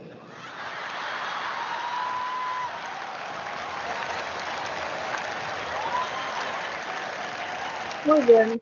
¿Te persignas? Porque todavía te queda algo de católico. Señor, reprenda al diablo, metió el rabo, pero ahora sí. Porque ahora sí es verdad que yo. Y abres la Biblia, buscas otra página.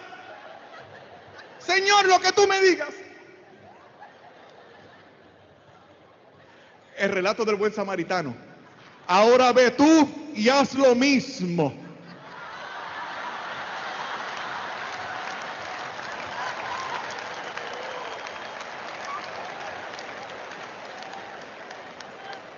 Me persigna de nuevo. Es más, no te persigna. Dice, Señor, ahora sí. La unción. Abre la Biblia en otro lado y pones el dedo, lo que tú me digas, Señor. El relato de la última cena. Lo que vayas a hacer, hazlo pronto.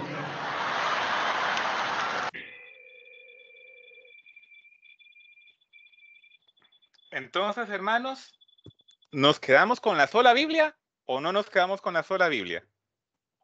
No, definitivamente.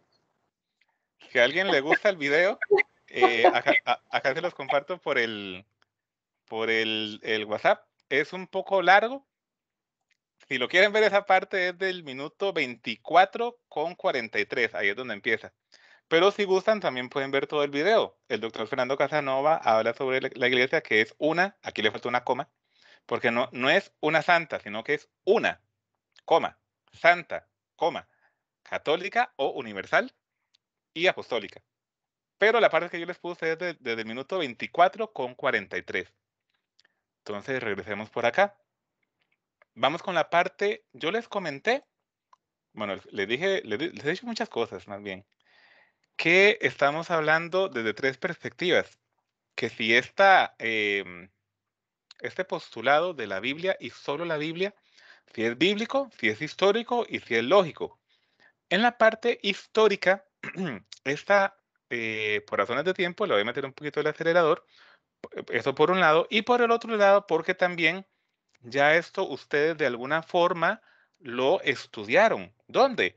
En la clase anterior cuando estudiaron canon bíblico, Por eso yo también lo preguntaba al inicio, que si ya habían estudiado canon bíblico. Y como la hermana me dice que sí, en la parte nada más es recordar. Eh, bueno, vamos por partes. Jesús no escribió nada. Punto número uno. Punto número dos. Eh, los apóstoles, si, recuerdan el recorrido que hicimos por todos ellos, hasta incluimos a, a Pablo y a Matías. Eh, no todos escribieron. Y los primeros libros empiezan a, surgir como hasta el año 45, 50, el último, el Apocalipsis según, eh, perdón, sí, el Apocalipsis según San Juan, hasta el año 95 aproximadamente. Y digo según San Juan porque si recuerdan, cuando estudiaron tal vez canon bíblico, hay otros libros por ahí. También estaba un supuesto evangelio según Tomás, un supuesto evangelio según María, un supuesto apocalipsis de Pedro, pero aquella iglesia que es la que el Señor funda en Mateo 16, 18, con esa autoridad que el Señor le dio, fue la que dijo entre los años 382 y 397, confirmándolo más aún en el 405 o 420. Ahí me disculpa, me falla un poquito la memoria. Eh, pero por ahí anda. Con esa autoridad es que da al mundo la palabra de Dios en lo que es Nuevo Testamento. El Viejo Testamento nada más dice, ok, sí, Septuaginta. Esa es básicamente la parte histórica. Y quería enfocarme un momentito en la parte bíblica. ¿Por qué? Porque es la parte que usualmente más se utiliza. Permítanme para hacerlo grande otra vez. Por cierto, ¿les, gustó el, chiste de Casanova? sí, muy bueno y hay que aprender de memoria. Yo lo iba a contar, pero a él le queda mejor. Además es de él. Bien, en la parte lógica, para crear un listado infalible de libros se requiere de un ente igualmente infalible. El hermano Eric, no sé si ya han tenido eh, la ocasión de conocerlo, eh, él siempre nos decía en el ministerio, eso es como que a usted le guste la leche, pero desprecie la vaca. Es ilógico, estamos en la perspectiva lógica, ¿verdad?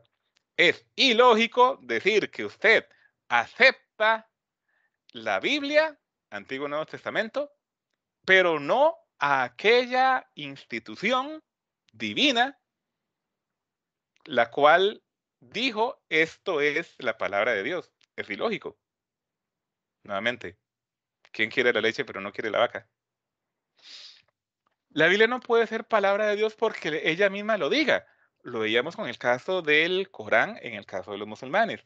Lo veíamos con el caso del libro que yo futuramente voy a publicar ahora el 30 de febrero, que solo me lo puedan comprar en todas las librerías.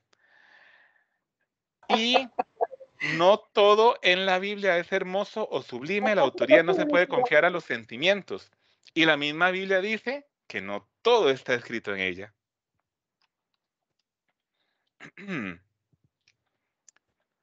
Nuevamente, para recordar un poquito lo que es la parte histórica, que esta ya la comentamos. Inconsistencias. Que vamos a hacerlo así. Si se aplicara la sola escritura, no habrían tantas iglesias con doctrinas diferentes, y lo comentábamos antes, dejemos de lado un momentito la Iglesia Católica. Están, ah, bueno, yo les comentaba de las, de las sectas más conocidas, eh, eh, al menos en, en, nuestro ámbito costarricense, imagino que también en el ámbito latinoamericano. Eh, evangélicos, pentecostales, adventistas, bautistas, metodistas, testigos de Jehová, mormones, pero vámonos inclusive un poquito más al viejo continente. También están los calvinistas, luteranos, anglicanos, si es la misma escritura y si es el mismo espíritu el que ilumina a todos por igual, ¿por qué hay tantas doctrinas diferentes? La predicación inicialmente era por palabra y por signos, no por escritura. Si todo está en la Biblia, entonces San José no murió, porque no está en la Biblia. Y si está en la Biblia, lo creo. Y si no está en la Biblia, no lo creo. la muerte de San José no, no está en la Biblia, entonces no lo creo. Yo no creo que San José haya muerto. De paso, por cierto, tampoco creo que ninguno de los apóstoles haya muerto, porque no está en la Biblia. ¿O sí? Y la palabra Biblia o Trinidad tampoco están en la Biblia. Y no por eso dejamos de creer en la Biblia y no por eso dejamos de creer en la Trinidad. Y eh, Lutero básicamente con respecto a esto, tenemos algunas diferencias doctrinales con respecto a Lutero, pero en algunos puntos sí coincidimos. Y este es uno de ellos en los que sí coincidimos con Lutero. Decía Lutero, este no escuchará del bautismo, aquel niega el sacramento, el otro pone un mundo de diferencia entre este y el último día. Algunos enseñan que Cristo no es Dios, testigos de Jehová. Otros enseñan esto y aquello lo otro. Existen tantas sectas y credos como hay cabezas. Aquí me disculpan el francés, no lo dije yo, lo dijo Lutero. Ningún patán es tan rudo como cuando tiene sueños y fantasías. Cree haber sido inspirado por el Espíritu Santo y ser un profeta. Esto lo decía Lutero, eh, bueno, citado por de Huete tercero en la cita 61, citando a O'Hare en los Hechos de Lutero, página 208. ¿Esto lo dijo antes de hacer lo que hizo o después? Eh, creo que esa parte sí se la quedo debiendo. Habría que ir a ver propiamente el, libro de, de Wet que cita a Ojare, o no sé cómo se dirá ahí, perdón. sí, Ojare. Pero qué ironía, ¿verdad? Por cierto, hablando de Lutero, no sé si ustedes sabían que eh, uno de los eh, comentarios más bellos escritos sobre el Magnífica de la Virgen María lo escribió Lutero. Y qué dicha que hablamos de Lutero, porque me acabo de acordar que tenía una cita especialmente para una hermana. Qué dicha que me acordaron. A la hermana que nos comentaba que es fan mariana, pero siempre le a criticar algo. Bueno, estamos diciendo algo. Si está en la Biblia, lo creo. Y si no está en la Biblia, no lo creo. Y no solo eso. Y es que me faltó tal vez algo por ahí, tal vez decirles. Algunos hermanos también, muy bien intencionados, eso sí, eh, que doctrinalmente puedan estar equivocados, sí, pero muy bien intencionados. O al menos eso queremos creer. Eh, también nos dicen, y si la Biblia lo dice, yo lo hago. ¿Ok? Entonces vamos a ver esto. Lucas capítulo 1 es precisamente sobre el Magnificat, que, me, lo recordó.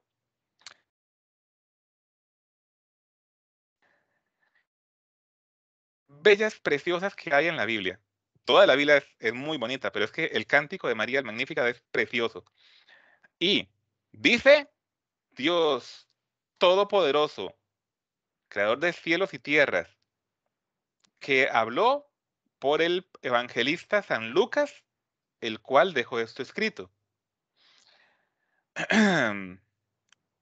Capítulo 1, versículo 48, creo que este es el B, 48b. Por eso desde ahora todas las generaciones me llamarán bienaventurada. Palabra de Dios. Te alabamos, Señor. Es palabra de Dios. El proclamado es palabra de Dios. Y no solo eso, está en uno, de los evangelios. Entonces, si estamos con el asunto de la Biblia y solo la Biblia, y si está en la Biblia lo creo, y si no está en la Biblia no lo creo, y si la Biblia me dice que haga algo, yo lo hago, entonces, de hermano, sepa usted que la Biblia le manda a que tiene que llamar a María bienaventurada. Y no solo eso, la Biblia también le manda a que le enseñe a sus padres, a sus abuelos, a sus hijos, a sus sobrinos, a sus nietos, porque todas las generaciones deben llamar a María bienaventurada. Es palabra de Dios. Y si alguien me viene con el asunto de la Biblia, solo la vida, yo le voy a decir, entonces acompáñeme, hermano, y dígame, y dígame, Bienaventurada Virgen María. Y con esto creo que ya vamos finalizando la clase de esta noche, porque si me dan pelota, yo sigo hasta la una de la mañana. Ya no son las 12, es la una. Entonces, em, muchas gracias. Muchas gracias, buenas noches. Eh, eh, ¿Alguna duda, pregunta, comentario? Cindy, no sé si me ayudas por ahí. ¿Alguna duda que haya surgido? Ok, nada más. Nada más, guay, veo que en el WhatsApp pusieron en dónde puedo leer el documento del libro que el Papa Benedicto XVI escribió de Jesús de Nazaret. En su librería católica más cercana. Y vamos a ver. Hola, ¿puedo hacer una pregunta por acá? Claro, claro, adelante. Eh, tal vez no me quedó muy claro el tema. ¿De dónde o cuál es el origen de la sola escritura? Y otra, y otra cosa es que si puedes pasar la Biblia esa que tienes en PDF, me quedaría buenísimo. Ok. Eh, voy por partes. La creencia de la sola escritura viene a su vez de parte de Lutero, que eso sí lo podemos decir que, que es después de, de, de, de haber, después de haber hecho lo que hizo. ¿Por qué? Porque parte del principio de la sola Biblia es negar o deshacernos de la iglesia como aunque la misma Biblia lo dice, como eh, columna y fundamento baluarte de la verdad y como aquella institución que es la que tiene la autoridad para decir, ok, Mateo 16, 18, tú eres Pedro, tú eres esta piedra, edificaré mi iglesia. Ah, bueno, y es que nos faltaba el versículo 19. Lo que tú bates en la tierra quedará atado en el cielo, lo que desates en la tierra quedará desatado en el cielo. Esta es una fórmula rabínica de autoridad. Ok, ¿Con qué se busca entonces? Recordemos que, Lutero, él ya quería desentenderse por completo de, la iglesia. Entonces surge a partir de Lutero. ¿En qué año exactamente y qué día y qué mes? Sí se la quedo debiendo. Sí sé que es a partir de, la reforma protestante. Y el PDF, claro que sí, con mucho gusto. Nada más que ocupo que me dejen llegar a, mi casa porque eh, yo ahorita estoy en casa de mi mamá y la que estoy utilizando es mi computadora del trabajo. Y la que tengo en el trabajo es la que está con todos los rayones y anotaciones. En cambio, en mi casa sí tengo ya la misma Biblia, el mismo archivo PDF, pero ya sin, sin los rayones y sin los, eh, los comentarios, para entregársela ya como, como quien dice, eh, limpia. Aló, hermano, ¿le puedo hacer una consulta? Eh, la puedo hacer, voy a hacer el mejor esfuerzo por contestársela. No, no, no, no, una consulta, una breve acatación. Eh, ahora que te estaba diciendo que, en la Biblia no existen algunas palabras, mucho protestante o no protestante, eh, hermanos pues que no están en la iglesia, siempre nos dicen a nosotros, es que en la Biblia no aparece la palabra purgatorio. Y es que e, exactamente en la Biblia no aparece purgatorio. Pero si lo vamos a la doctrina, sí aparece la doctrina, porque Jesús le dice, dice, si vas con tu, con tu adversario en el camino, ponte de acuerdo antes de llegar al juez, porque el juez te entregará al, al carcelero y no saldrás hasta que tú pagues hasta el último eh, centavo. Entonces, por eso es que se le llama purgatorio, ¿verdad? Porque ahí igual, todos vamos a pasar por ahí. Eh, casi todos, ah, se, cree que puede haber hermanos que por su vida virtuosa, eh, tal vez si, si, están, están como de pasadita, nada más para que conozcan qué es el purgatorio. Exactamente. Que, que, lo conocieron, que, se tomen una foto, un selfie y ya. Sí, Pero porque, casi todos vamos por ahí. Sí, porque la otra parte dice que, que, que va, será condenado igual, igual al fuego al infierno, no va a salir nunca. Pero los que van al purgatorio sí van a salir. Eh, lo que es el pasaje bíblico. No me acuerdo ahorita en qué pasaje está. Yo tampoco, eh, pero de hecho sé que ese tema también lo tenemos por acá, solo que estoy tratando de encontrar dónde es que lo tengo. Sí, está, yo creo que está en, el Evangelio de Mateo, está eso, pero no me acuerdo ahorita en cuál es. Ah, aquí eh, está. En el programa ustedes lo tienen para el 28 de enero con la hermana Stephanie. A ver, lo estamos adelantando, perdón. Sí, sí, sí. Entonces, hermano, no, no le mate el tema a Stephanie, porfa. Ok, gracias. Buenas noches. Gracias a usted. Don Weiler, Ay, por favor, podría hacer el favor nada, más quítale el don, porfa, que mucho me ha costado, como decía una amiga. es por respeto. Entonces, guay, guay, este, usted nos podría hacer el favor de compartirnos, porque digamos, siempre nos comparten este mismo eh, récord, esta, esta grabación, pero eh, nos podría compartir por aparte, digamos, como el completo del PowerPoint o lo que sea, porque no, no, no vi qué exactamente qué es, para nosotros ver las otras partes que no pudimos ver. Si sí, claro que De hecho, la presentación. Vean, si pueden ver mi pantalla en este momento. Perdón, lo puede compartir por PDF y los que tienen PDF lo pueden ver desde ahí. De hecho, hermanos, si pueden ver mi pantalla en este momento, ahorita estoy en, nuestro sitio web, defensacatólica.com. Acá se van a la parte de cursos apologética. Y en apologética, aquí pueden ver toda la lista de temas. Todos los temas ya han sido Ay, que tanto hablar esta veces uno se emociona. Ya siento que me estoy empezando a quedar un poco afónico. O ya me duele la garganta. Em, en la parte de Apologética 1 está la sección o el enlace a sola escritura.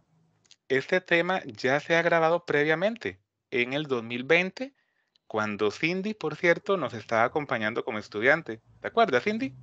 Por supuesto que sí. Por no, no, yo no sé si tú participaste activamente en esta clase, pero por ahí andabas. Sí, sí, de hecho yo no me perdí en una sola clase. Ah, ok. Aquí se los voy a compartir ya por el, por el WhatsApp. Lo que nosotros hacemos viernes con viernes es que vamos actualizando la grabación. ¿Por qué? Porque esta es de 2020 y no sé cuál hermano la habrá dado. Sí recuerdo que no fui yo, definitivamente. Eh, entonces, para el que le guste ver, ya está aquí y abajo también está el PDF con la presentación, la misma que les acabo de dar. Ah, perfecto. Lo, que nosotros, lo que nosotros hacemos viernes con viernes y también eh, vale comentarlo por si algún día, pues de ahí. Nosotros hacemos todo lo mejor que podemos para subirlo lo más pronto que podamos, pero también somos humanos y tenemos nuestras obligaciones. Si en algún momento se nos no logramos hacerlo de viernes a la noche, domingo a la mañana, sepan que ya están todas las clases, todas las grabaciones, pero como quien dice, de la generación anterior. De hecho, yo les decía la generación 2020. Ustedes son la generación 2021-2022. Lo que hacemos es sí, subir un segundo video y le vamos poniendo fecha. Ok, este es de 2020, 2020 este es de 2021, ya con Weiler. Y ahí, vamos. Pero sí, ya, ya la grabación está del 2020 y también está la presentación en PDF. Ok. Guay, tengo otra consulta aquí del hermano Edgardo que dice, ¿se puede decir yo voy al templo porque en él va a su iglesia a celebrar la misa? ¿Por qué decimos la iglesia a los templos? Ay, creo, que la, duda es ¿por qué le decimos iglesia al templo? Sí. Ok. Eh, puede ser por un asunto lingüístico eh, porque en otras ubicaciones, eh, vamos, a ver, voy por partes. Yo les comentaba que gracias a Dios he tenido la oportunidad de ir a misa a, otros, a otras latitudes. Bien, les cuento que precisamente en esas otras latitudes no solo le dicen iglesia, también le dicen al templo. Y aquí hay que salirnos un poco de nuestro contexto costarricense o inclusive latinoamericano, para los hermanos que nos siguen eh, en otros países de Latinoamérica. Tal vez nosotros por un o lingüístico decimos vamos a la iglesia, pero no es así en todos los países, en todas las regiones del mundo. En otros lugares sí, le dicen vamos al templo. No sé si con eso le, le ayudo a contestar a, la hermana o hermano que hizo la consulta. Sí, el hermano Edgar. Ok. Y vamos a ver, tengo una consulta de la hermana Ana Aguilar. Perdón. Perdón, Cindy, para terminar nada más con la idea anterior. Eh, ahora que estamos hablando de la misma Biblia, bien, en la misma Biblia podemos encontrar ejemplos de el habla popular de la gente o las creencias, que creo que es en el libro de los Hechos. Eh, yo no me conozco todas las, todos los pasajes de la Biblia, Eh, espero en Dios algún día me conceda poder aprendérmelas, pero todavía no me los aprendo todos. Pero sí recuerdo los textos, no, no la cita, pero sí el texto. Tal vez ustedes sí la puedan reconocer, eso sí, que en Hechos de los Apóstoles me parece que escribía el, el escritor sagrado que la gente llevaba a los enfermos a que les tocara al menos la sombra de Pedro o les llevaban los pañuelos de Pablo. Y esa era la, el, el creer popular o el decir, vamos a, que te toque la, sombra de Pedro, sabiendo perfectamente que el que hace milagros no es ni el pañuelo de Pablo ni la sombra de Pedro, sino que es Dios Todopoderoso, que por intercesión de los santos, que ese es otro tema que van a tener en Apologética 1, intercesión de los santos, concedió el milagro, pero era la forma popular de expresarse de las personas.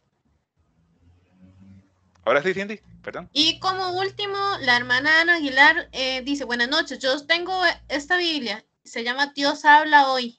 Es católica. Pregunto porque mi Biblia termina en Judas y no en Juan, y el último versículo de Juan es el 21, no encuentro el versículo 25. De hermana, yo creo que básicamente usted misma se está respondiendo. Eh, sin embargo, aprovechando que estamos eh, mostrando el sitio web, Nuevamente, vamos a cursos apologética. Aquí voy un momento a buscar. El hermano que me preguntaba, eh, yo no dije nada, perdón, es viernes en la noche, disculpen.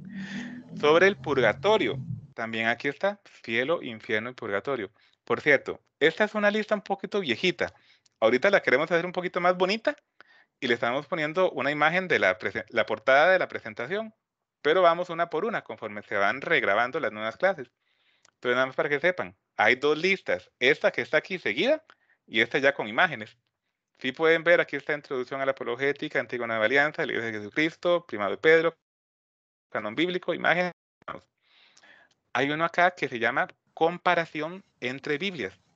Y aquí, y por cierto, a mí fue el que, el que me tocó dar esta clase, eh, se hace precisamente se dan criterios para saber si una Biblia en, específico es o no es católica.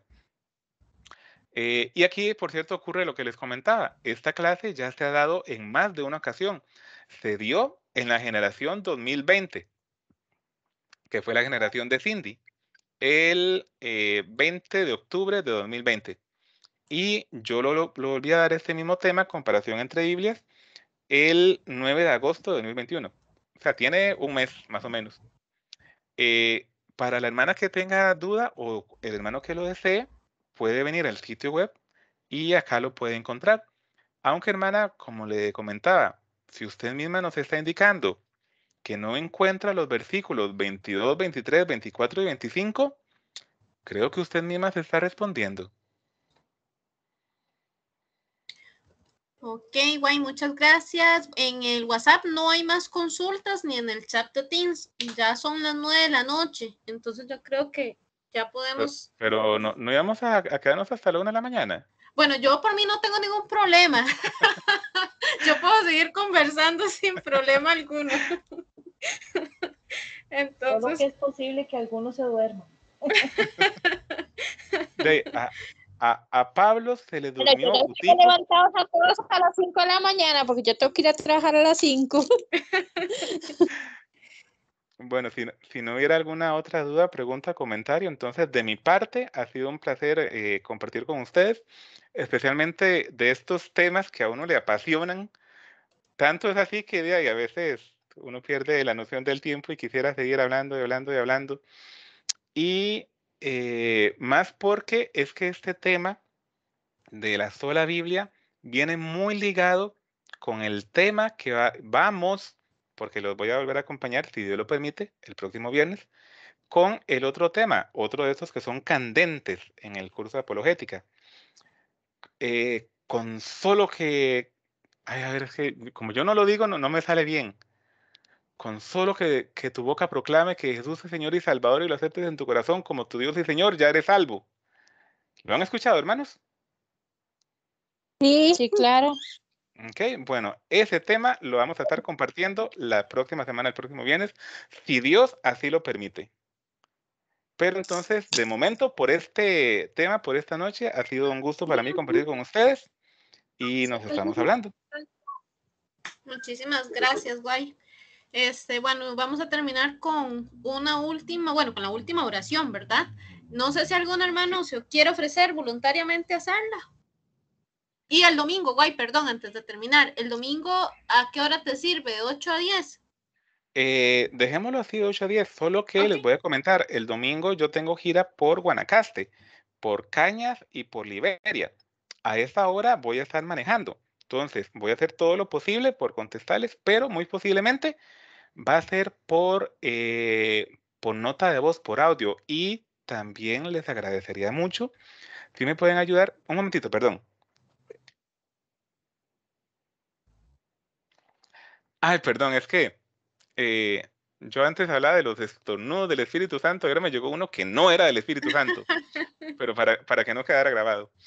Eh, les comentaba, eh, mucho les voy a agradecer que me pueden ayudar si alguna, hubiera alguna duda, pregunta o comentario, que lo pueden hacer también por audio para no tener que estar leyendo mientras voy manejando. Es más fácil escuchar un audio que leer un texto mientras se va manejando.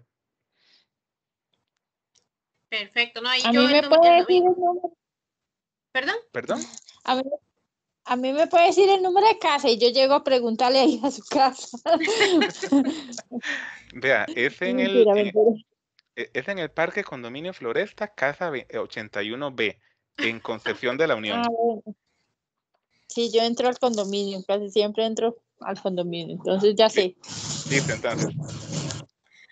Hermana Tatiana, ¿usted nos quiere regalar la última oración, por favor? Sí, claro, nada más deme un momentico que están sacando una moto. No se preocupe.